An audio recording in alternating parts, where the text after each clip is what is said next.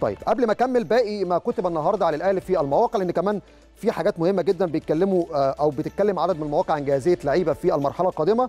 لكن مهم جدا أروح بسرعة إلى ملعب مختار التتش بالجزيرة وعلى الهاتف زميلي العزيز شريف شعبان مراسل قناة النادي الأهلي. مساء الخير يا شريف. مساء الخير يا كريم. محمد تحياتي ليك وتحياتي لكل مشاهدي قناة الأهلي في كل مكان. خلاص بقى أنت يوميا مع النادي الأهلي ومع فريق النادي الأهلي في التدريبات فأكتر واحد يقدر يفيدنا ويدينا معلومات عن الحالة البدنية حالة الجاهزية الفنية هل لسه في إصابات طفيفة كانت في تدريب الأمس واول امس لسه مستمرة في تدريب النهارده؟ ولا الحمد لله شبه جماعي أو شبه اكتمال الصفوف في تدريب فريق النادي الأهلي في هذه اللحظات؟ خليني أقول لك إن التمرين بدا في السادسة مساء يمكن بقى له حوالي 20 دقيقة. ابتدوا بمحاضرة في وسط الملعب حوالي خمس دقائق يتكلم فيها مدير الكرة. الكابتن سيد عبد الحفيظ طبعا عن أهمية مباراة المقاولين العرب إن الفريق بكرة هيتمرن الساعة 6 مساء ويوم الثلاثاء هيكون التمرين صباحا وهيسافروا إلى برج العرب لمبيت ليلة مباراة المقاولين العرب ويوم الأربعاء بإذن الله يكون الفوز من نصيبنا وهيكملوا في برج العرب معسكر إلى مباراة القمة يوم الأحد القادم. يمكن بعد هذه الجلسة يمكن أنا شايف في احماءات لكل اللاعبين ويمكن الشيخ هو اللي اشتكى كده هو وخرج من أرض الملعب. بس طبعا اطمئن عليه بس بإذن الله تكون إصابة خفيفة. يمكن رمضان صبحي امبارح كان بيجري سونار على العضلة الضمة ويمكن السونار طمن الدكتور إن العضلة الضمه سليمه لكن النهارده خافوا عليه والنهاردة كان معمول له برنامج تمرين خفيف. النهارده دخل الجيم. دلوقتي عشان يقوم بهذا التمرين وهيكمل بقية تمرينه في ملعب مختار التتش ولكن بطمنك بطمن جماهير النادي الأهلي. رمضان رمضان صبحي جاهز. جاهزية تامة لمباراة المحاولون. العرب ما زالت الجلسات النفسية والجلسات منعقدة مع مستر لاسارتي مع اللاعبين. يمكن كان في جلسة مع محمد نجيب طويلة قبل بداية المران. كان في جلسة مع رامي ربيعة برضه مستر لاسارتي قبل بداية المران. كابتن عبد الحفيظ كان ليه جلسة مع حسام عاشور كابتن رمضان صبحي وقف في جلسة أيضا مع الكابتن محمد يوسف والكابتن سامي قمصان. على الجانب الآخر كابتن طارق سليمان وتدريب الحراس الشناوي ولطفي وشوبير وأحمد طارق. آه تمرينة حراس على الجانب الآخر من الملعب تمرينة قوية جدا. في الجيم دلوقتي محمد محمود بيتأهل ومحمود وحيد لسه ما جاش الملعب بإذن الله. النهارده يكون آخر test ليه ويكون بكرة موجود في التمرينات. بإذن الله الأمور كلها مطمئنة الأمور كلها بتوحي إن بإذن الله الاهلي هيبقى هيقدم مستويين أو مستوى كويس جدا في مباراة المقاولين العرب وبإذن الله يكون يختمها أو ختام الموسم في مباراة القمة. بإذن الله أتمنى بإذن الله يفوز الأهلي في مباراة المقاولين ومباراة القمة. زميلي محمد اتفضل. طيب مروان محسن بالأمس يمكن يعني في بعض الأخبار طلعت على إنه اشتكى من كدمة بسيطة في عصبه القدم. هل النهارده موجود معاك في التمرين؟ مروان موجود قدامك في الملعب ولا لسه الإصابة ممكن تمنعه من التدريب الجماعي النهارده مع الفريق؟ أنا امبارح اتفرجت على التمرين من الساعة 6 لحد الساعة 7 ونص 8 لحد ما التمرين ما خلص. رمضان آه مروان كمل آه. التمرينة كلها. كلها؟ مروان في التمرينة.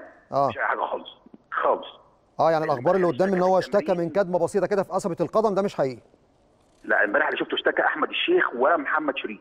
والدكتور نزل لهم وكملوا التمرين. مروان ما لفتش نظري خالص اللي هو اشتكى امبارح. ممكن يكون اشتكى للدكتور ما خدتش بالي بس هو مكمل التمرينه كلها. والنهارده هو أمامي أهو في ملعب مختار تتش طب كويس. التمرينات. لا سليم. وطبعا برضه بيعلن جائزته مباراه المقاولين العرب يمكن ال ال الشكل العام للنادي الأهلي لا لا كل معظم نجومه آه يعني ما شاء الله في, في الملعب أمامي. وكلهم جاهزين لمباراة المقاولين العرب يوم الأربعاء المقبل بإذن الله.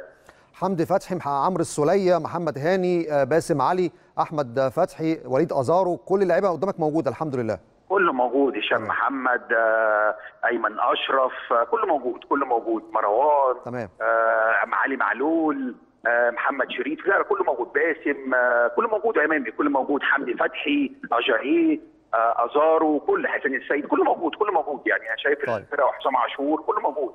بإذن الله وصالح جمعه أيضا ال ال ال وحسين شحات حسين شحات خليني أقول لك يا محمد. أيوة. حسين شحات نفسك الخشب بيقدم الأسبوع ده من أحسن يعني فترات حسين شحات في النادي الأهلي. يعني حسين شحات يعني يعني لافت ال- النظر في تمرينة امبارح وتمرينة النهارده وأول امبارح إن شاء الله. اتمنى له يا رب التوفيق بيأكد كلامك يا شريف فعلا تصريحات على يلا كورة لمارتن لاسارتي بيقول فيها لدي قناعة تامة بالشحات وسيكون الورقة الرابحة للأهلي هذا الموسم.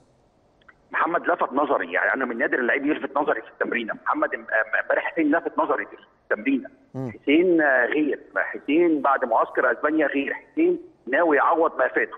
فلا لا لا بطمنك وبطمن جماهير النادي الأهلي بإذن الله بإذن الله الفترة المقبلة لاعبي النادي الأهلي هيظهروا بشكل قوي جدا أمام فريق المقاولون العرب وبإذن الله الفوز هيكون من نصيبنا. مستر لاسارتي على طول انت لو محمد تاخد بالك مستر لاسارتي بيمتاز بعقد الجلسات على طول مع اللاعبين عشان يحفز اللاعبين واللاعبين تتكلم مع بعض. بالظبط. الراجل شغال عليها باستمرار وبتاتي باستمارها الراجل بيستاهل صغيرة ولا كبيرة امبارح امبارح بعد عمل تخصص على الجول وعمل تمرين الكورة وقف التمرين أكثر من مرة وبيصلح والتكتيك بتاعه ما شاء الله. في تدريب يا شريف على الكرات الثابتة؟ في تدريب على الركلات الركنية؟ في تدريب على عدد من اللعيبة جزء تخصصي في نهاية المران ولا بيبقى تقسيمة جماعية بس في النهاية؟ الراجل بيعمل الأول إحماءات وبعد كده بيعمل تخصص على الجول من جميع النواحي اختراقات من العمق وعلى عشان اللعيب يعرف يفنش ال- ال- الهجمات لاجوان وبعد كده بيعمل تقسيمه بيوقفها أكثر من مرة وبعد كده بيشتغل على الفاولات بيشتغل على الضربات الثابتة بيشتغل على كل حاجة. الراجل بيسيب حاجة للظروف ولكن يبقى التوفيق فقط.